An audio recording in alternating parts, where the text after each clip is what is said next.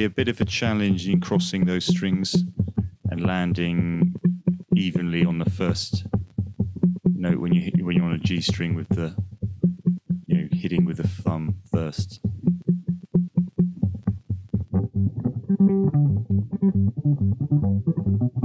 So you know if you just just kind of tap along with my foot.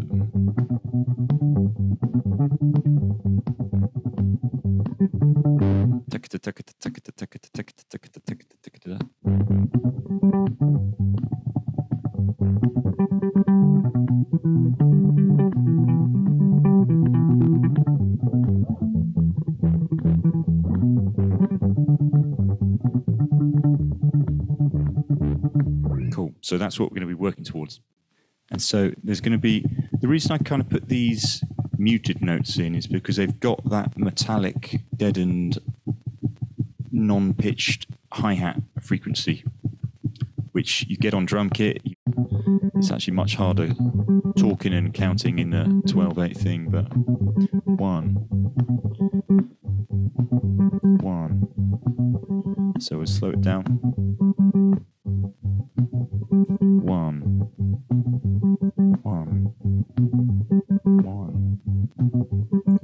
D, 12th fret on the D string, and a low octave, 10th fret on the E string.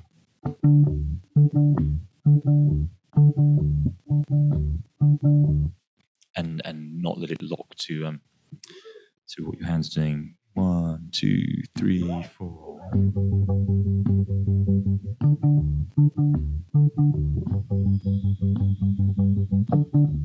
You know, just like the the Congolese stuff, if you're playing different notes than me, don't worry. You know, as long as they're in the, you know, that G pentatonic, you know, you could use that A as well. We're going to use that A in a bit.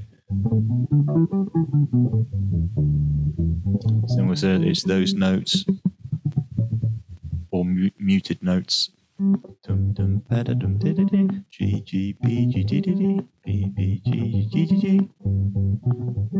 So you might find there's there's less requirement to lock with that if I'm in a slightly different register.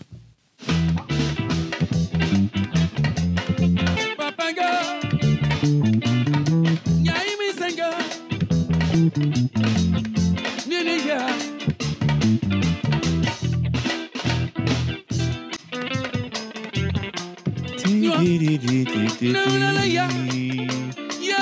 It is kind of cueing the rest of the band to respond.